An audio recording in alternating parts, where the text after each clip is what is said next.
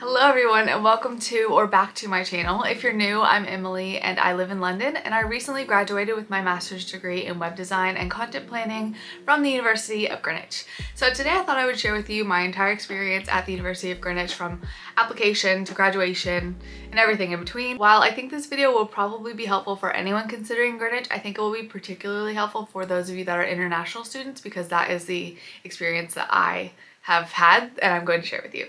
So the first thing I wanted to talk about was why I chose Greenwich and there are three main reasons and they are first the program that is at Greenwich for web design is a mix of artistic and technical so you get to learn coding as well as design so it's kind of the best of both worlds. You learn a new well I had never coded before so that's something that I was like a little intimidated by but it's also about design and user experience and all that kind of stuff so I thought with a lot of other programs it was one or the other and this one really had a good blend. I also liked that it was in a quieter area of London because I am not from a huge city so I thought maybe being in central London would be a little bit overwhelming um, and this is something I will talk about more in, later in the video about the location of Greenwich and all that kind of stuff, but um, it was close enough to central London, but it wasn't like smack dab in the middle. And then also they had postgraduate accommodation, which is a big thing because I had no idea what I was doing with renting in London. And if you watch my flat hunting video, you'll know it is a crazy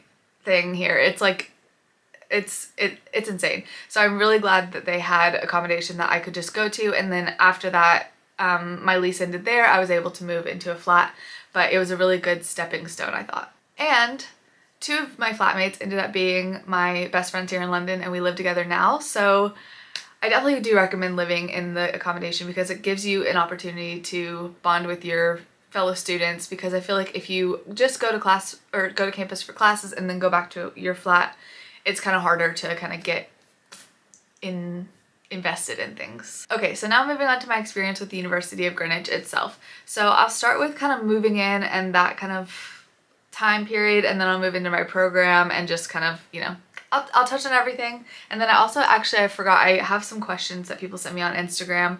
Um, shameless plug for my Instagram if you want to follow it. Um, and so I'll answer some of those as well.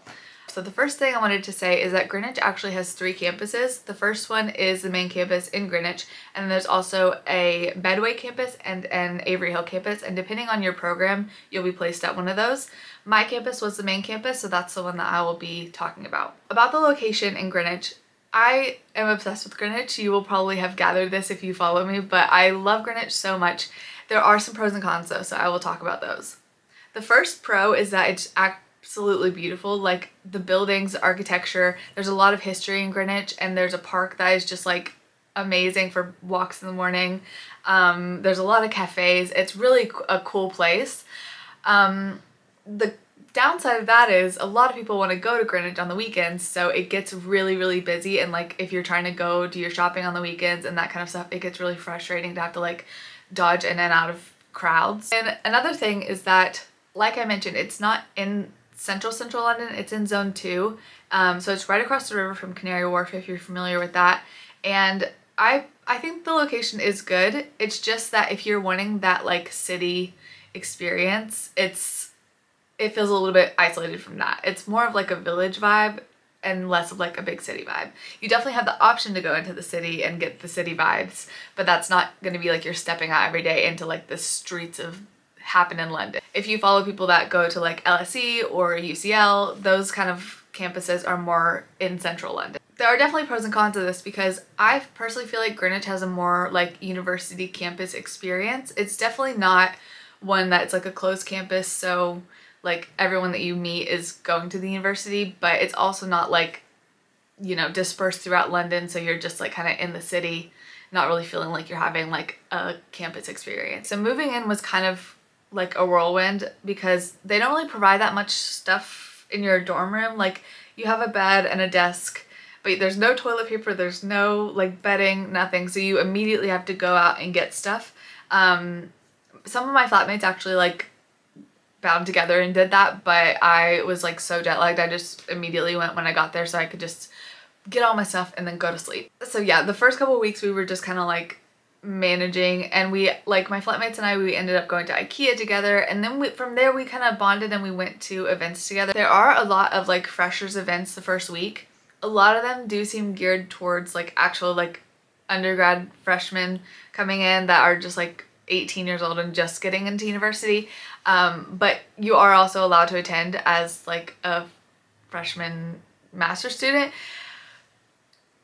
it's kind of weird because I felt, I personally felt a little bit old, but I just stuck with my friends that were master students that I made from the halls and we kind of just like met people together and we actually went to one event that was like a snow sports committee event. I have no interest in snow sports, but my friends did. So I went and we actually met one of our best friends there. So I do suggest going to the events. Just know that it's kind of more geared towards like the younger group of students. Okay, so now onto my program. So if you are interested in the Masters in Web Design and Content Planning, this part is for you and I have a lot to say. So first of all, I'll talk about the structure of the course.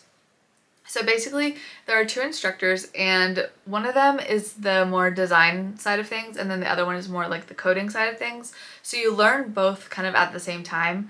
And the way that the course is structured is that we have class once a week. I think for me, it was every Wednesday from 11 to 6 and we had an hour break for lunch in the middle of that. So it's really nice actually because you only have to go to class once a week, but you do have things that will keep you busy throughout the rest of the week.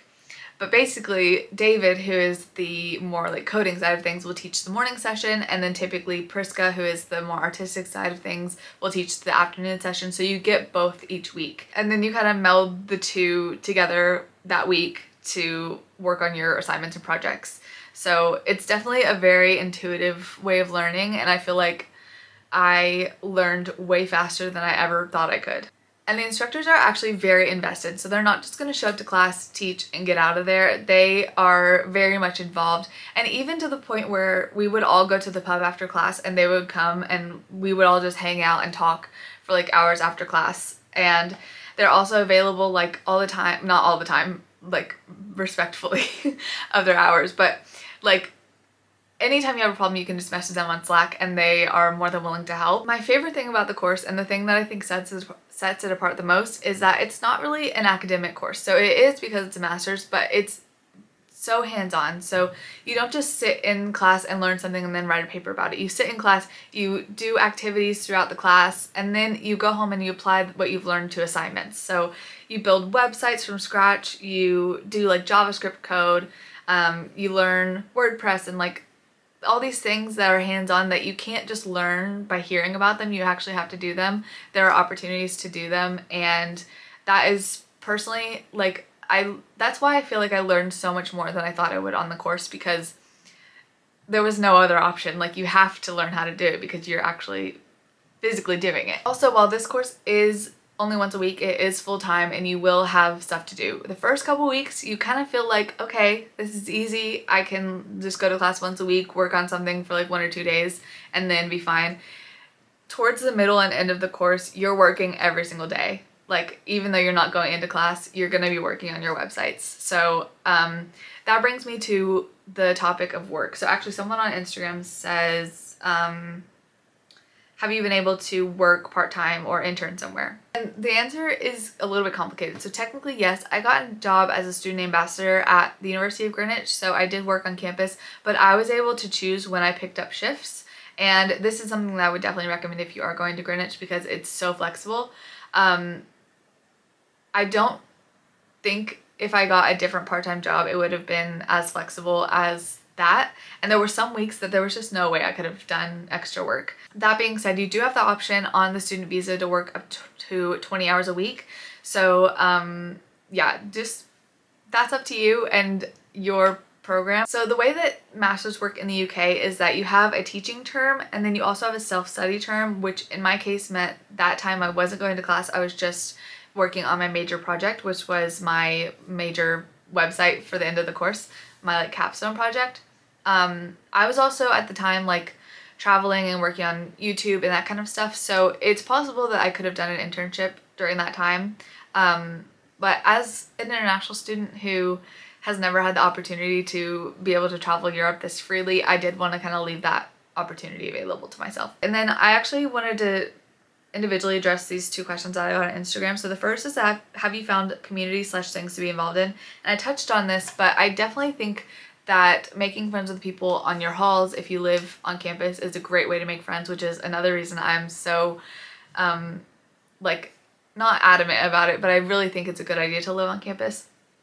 The other thing is um making friends in your course. So it would have been very easy and a lot of times I did not go to the pub after class because I was so tired but it would have been easy to just never go and never try and make friends with the people in my course but I feel like that would have been such a loss. First of all I've made really good friends and I like the people in my course but also it's a really good networking opportunity if one of your classmates that you're friends with succeeds and they have an opportunity in the future for you to you know maybe work with them or have some sort of like in with a company it cannot hurt. So definitely make friends with people in your course and with your tutors and people that they know in the industry. So yeah, that's about making friends and then things to be involved in. As I mentioned, most of the activities I think were geared more towards like the younger crowd on campus. That does not mean you can't go.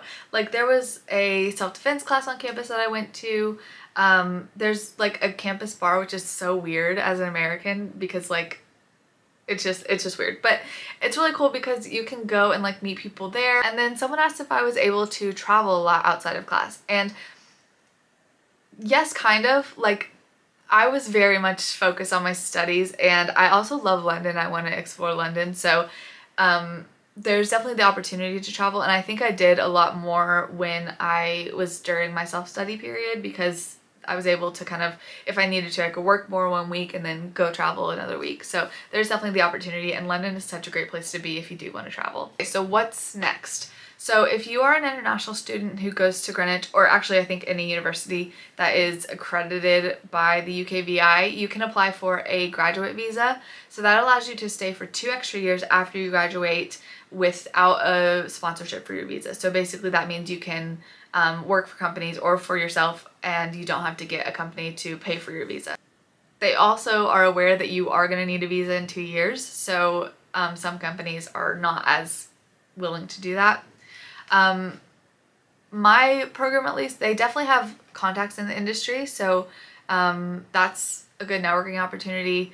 Um, and there is an employability office at Greenwich. However, it's tough to get a job in London, especially as an international and as someone who like I have professional experience. I used to work in a different field but I don't have professional experience in the web design field. So I think perhaps getting an internship would have been a really good idea because then I would have had a foot in the door. I just wanted to say that because I feel like we need to be realistic about these kinds of things Okay, so that's it. If you guys have any questions about Greenwich, I will try and answer them. You can leave them down below. You can also message me on Instagram, which is here, and follow me on TikTok. And I think that's all the places I am. And also, I have a lot of vlogs about Greenwich and London, so I'll link those in the cards now, as well as in the description below. I'll link like everything that I think would possibly be relevant to this video. So Okay, I think that's everything I needed to say. I hope that you guys have a great rest of your day and I'll see you next time. Bye!